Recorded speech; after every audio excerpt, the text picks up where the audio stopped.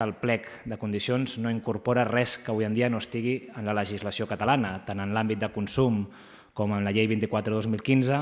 La contractació pública no és merament un fi econòmic, sinó que la contractació pública, i així ho indiquen doncs, totes les directives europees, ens diu que hem de també incorporar la responsabilitat social i ambiental.